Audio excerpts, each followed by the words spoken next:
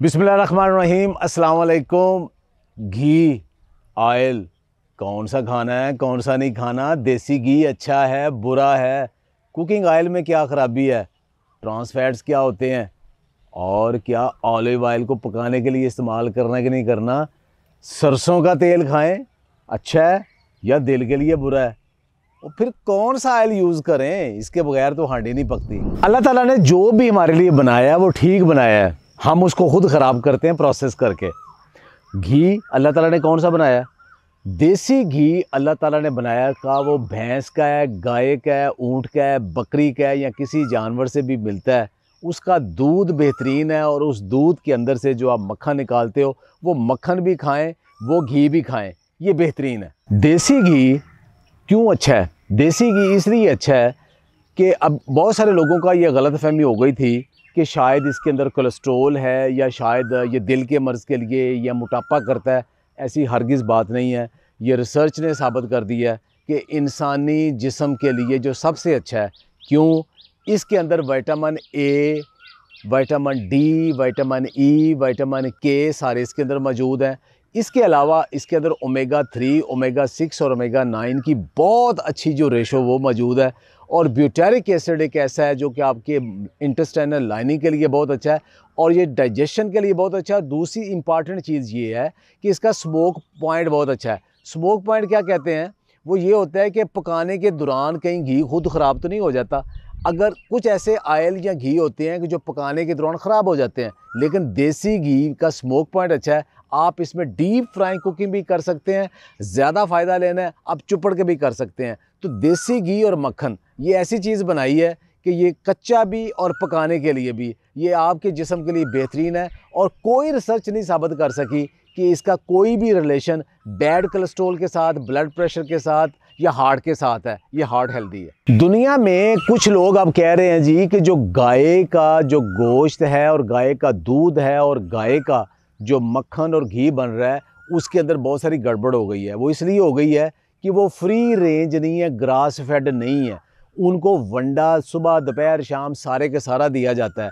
तो और उनकी सत्तर से अस्सी फ़ीसद खुराक जो है ना, वो बीजों से आती है। तो उसके अंदर ओमेगा थ्री और ओमेगा सिक्स की रेशो बड़ी गड़बड़ हो गई है। लेकिन ये वहाँ होगा। हमारे यहाँ अभी तक भी ज़्यादातर भैंस है और जो गायें हैं, वो भी खुली चरती हैं। तो एक बंदा सारा दिन आपने देखा होगा कि एक माई या एक बाबा, वो सारा दिन घास जो काटता है उनके लिए तो ग्रास फेड है हमारे जानवर। फिर उन्हें चारा दिया जाता है, जो वंडा अफोर्ड ही नहीं होता। हमारे यहाँ सिर्फ़ जो गायों का, जो फार्म्स होते हैं, वहाँ देते हैं, बाकी तो वंडा अफोर्ड ही को नहीं करता? लिहाजा हमारे यहाँ जितनी भी गाय, भैंसें हैं, वो ग्रास फेड और फ्री रेंज है। और उनका गोश्त भी अच्छा है, दूध भी अच्छा है, और उससे हमें जो घी मिलता है, वो भी बेहतरीन है। लिहाजा पाकिस्तान में अगर किसी को खालस घी, देसी घी मिलता है, वो शायद दुनिया का बेहतरीन घी में से एक है। घी के बाद अगर आपके पास घी नहीं तो दूसरी चीज़, आपके पास जैतून है, जिसके अल्लाह ताला ने कसम उठाई और जैतून का तेल है। लेकिन जैतून के तेल बाज़ार में तीन किस्म के मिलते हैं, जिसमें से दो ठीक है, एक फ्रॉड है। अच्छा कौन सा है? अच्छा वो है जिसे एक्स्ट्रा वर्जन ऑलिव ऑयल कहते हैं, जो सारे करेक्टर हैं वही है, और जिसमें आपकी सेहत के लिए बेपना उसके अंदर फ़वाद हैं। वो कच्चा खाना चाहिए, वो पकाने के लिए ज़्यादा अच्छा नहीं है, क्योंकि जब पकाते हैं, क्योंकि हमारी हांडी जो पकती है, वो शैलो फ्राइंग नहीं होती। अगर आपने अंडा फ्राई करना है, या ऑमलेट बनाना है, या स्टिर फ्राई वेजिटेबल करनी है, जो कि हमारे कभी कभार होती है ज़्यादातर हमारे कुकिंग होती है कि जिसमें हम पहले घी गरम करते हैं, फिर प्याज फ्राई करते हैं, फिर टमाटर, अदरक, लहसुन पेस्ट मसाले डाल के आधा आधा पौना पौना घंटा हमारी हांडी पकती है डीप फ्राई फिर जाके सालन पकता है। वहाँ पर कुकिंग ऑयल जो है ना, उसकी स्मोक पॉइंट का बहुत ज़्यादा मसला होता है और आलिव ऑयल का भी स्मोक पॉइंट बहुत कम है। वहाँ जा क्या होता है कि आलिव ऑयल अपनी सारी खसूसियात खो बैठता है। तो जिस इतना महँगा आपने लेने के बाद अगर रोटी चुपड़ लें या शैलो फ्राई कर लें तो आलिव ऑयल ठीक है, लेकिन डीप फ्राई कर लें, उसका बेड़ा गर्क हो जाता है। आलिव ऑयल बाज़ार में तीन किस्म के मिलते हैं। एक है एक्स्ट्रा विजन आलिव ऑयल वो ज़रूर लें, हर बंदा कच्चा खाए, रोटी चुपड़े सैलड ड्रेसिंग करे, सालन के ऊपर डाल पके हुए सालन के ऊपर डालें खाने से पहले। लेकिन दूसरा एक मिलता है खाली वर्जन ऑयल वो फ्रॉड है। एक दफ़ा एक्स्ट्रा वर्जन नहीं बना, बाकी सारा मालिश के लिए। वो उसको मालिश करें, बाकी करें एक्सटर्नल यूज़ करें। हांडी पकाने के लिए ऑलिव ऑयल नहीं होता। जैतून के तेल के बाद अगर बहुत अच्छा तेल है तो वो है कोकोनट ऑयल यानी नारियल, यानी खोपरे का तेल। वो हमारे यहाँ मिलता नहीं, कम मिलता है, महँगा मिलता है। अगर आपको मिले तो उसके अंदर सेचूरेटेड फैटी एसिड अच्छे हैं। एक जेन में ये चीज़ बैठा लें सेचूरेटेड फैटी एसिड बुरे नहीं हैं, ना अनसेचूरेटेड फैटी एसिड बुरे हैं। इनकी एक रेशो होती है कुदरती तौर पर अल्लाह ताला ने जो बनाई है। वो अच्छी है, जो अनसेचुरेटेड फैटी एसिड है, जो कुकिंग ऑयल में होते हैं, वो बड़ी जल्दी ख़राब हो जाते हैं। क्योंकि उनके अंदर ऑक्सीजन अटैक कर देती है। लेकिन जो सेचूरेटेड है, अच्छे वाले सेचूरेटेड उनके अंदर ऑक्सीजन पेंट्रेट नहीं होती, वो ख़राब नहीं होता। इसलिए देसी घी और कोकोनट ऑयल जल्दी ख़राब नहीं होते। तो कोकोनट ऑयल अगर आपको दस्तियाब है, उसके अंदर कुकिंग करें सेफली कुकिंग करें, वो बेहतरीन है। लेकिन आपको अगर देसी घी ऑलिव ऑयल और कोकोनट ऑयल अवेलेबल नहीं है तो फिर किसमें कुकिंग करें? कुकिंग ऑयल अब इसके बाद ऑप्शन ये आता है कि अल्लाह ताला ने जो इतने ऑयल सीड यानी तेलदार जनास पैदा किए हैं, उनके बीजों के अंदर से तेल निकलता है। वो तेल आप लें। लेकिन उसके अंदर ये ख्याल रखें कि उसमें दो तीन प्रॉब्लम है। पहला तो ये है कि एक ऑलिव ऑयल के बाद एक और फ्रूट भी है, जिसके अंदर तेल निकलता है। और वो इंतहाई घटिया लो क्वालिटी है, वो वाहद है प्लांट बेस जिसके अंदर कोलेस्ट्रोल है और बुरा कोलेस्ट्रोल है। वो है पाम ऑयल तो दुनिया भर में पाम ऑयल जो है ना, अब सस्ता साबन बनाने के लिए इस्तेमाल होता है। हमारे यहाँ उसको खाने के लिए इस्तेमाल करते हैं। हमारे यहाँ जो इम्पोर्ट होता है, वो भी साबन बनाने के लिए होता है और उसको फिर आपको खिला दिया जाता है। वो शरियानों में जमता है। वो बहुत जल्दी ट्रांसफैट में बनता है फ्री रेडिकल्स में बनता है, जिससे ब्लड प्रेशर बढ़ता है, शरियाने बंद होती हैं हार्ट अटैक होता है, उसमें पाम ऑयल बहुत ज़्यादा है। अब कुकिंग ऑयल के साथ क्या मसला है?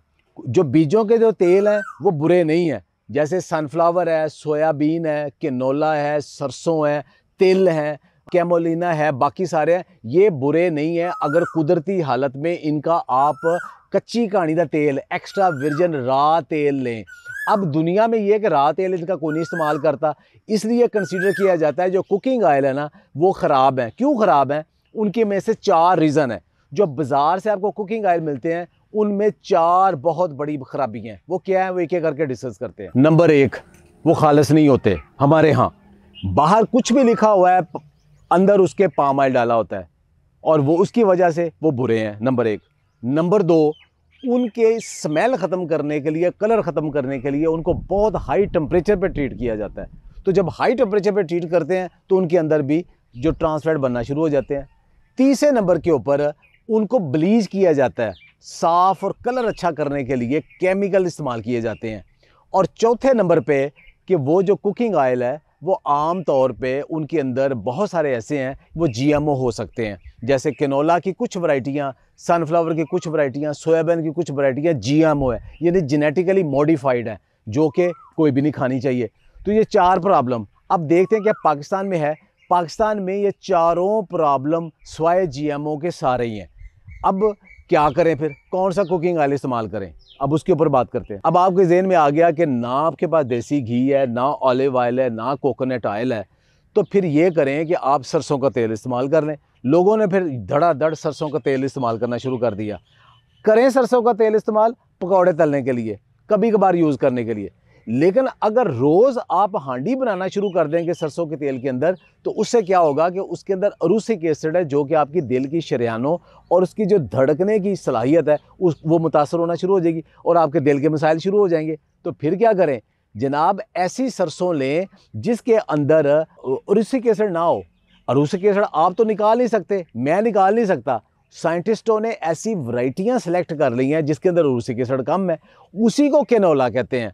तो कैनोला एक ऐसी वैरायटी है सरसों की जिसके अंदर रूसी एसिड कम है और उसका आप तेल निकालें। अब ये सुन के लोग भाग के बाज़ार से आके कनोला ले लेंगे। लेकिन जो बाज़ार से कनोला ले लेंगे, उसमें जो आपको मैं चार प्रॉब्लम बताएँ, उसमें वही होंगे। एक तो उसके अंदर मिक्सिंग होगी, दूसरा हाई टेम्परेचर, तीसरा ब्लीचिंग और हो सकता है जीएमओ भी हो। मैं वो नहीं कह रहा। तो क्या करें? अब करें ये कि कैनोला का बीज पाकिस्तान में आम ग्रो होता है ज़िम्मेदार ग्रो करते हैं। वो बीज लें, घर में रख लें और उसका जब ज़रूरत हो, किसी कोलू के पास स्पाइलर के पास जाए, तेल निकलवा लें।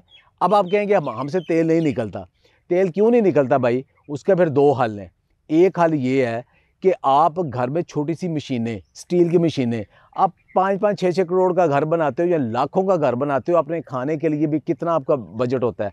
सिर्फ़ एक पच्चीस तीस हज़ार रुपये की स्टील की ज़बरदस्त, खूबसूरत सी ऑयल एक्सट्रैक्शन मशीन मिल जाती है। आप अपने घर में रखें, फ़न का फ़न है, बीज ले लें, तेल निकाल लें, रा तेल, वो तेल इस्तेमाल करें, आपके लिए बेहतरीन है।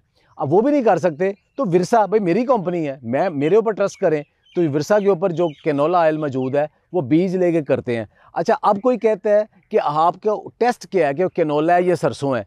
तो अयूब रिसर्च के अंदर आयल सीड रिसर्च इंस्टीट्यूट है। उन्हें थोड़ा सा सैंपल भेजें थोड़ी सी उनकी फ़ीस है। वो आपको टेस्ट कर देंगे कि इसके अंदर रूसिक एसिड है या नहीं है। अगर रूसिक एसिड उसका बहुत थोड़ा है तो वो कैनोला है। वो आप कर सकते हो। अब खाना पकाना है आपने तो क्या खाना पकाने के दौरान घी खुद तो ख़राब नहीं हो जाता?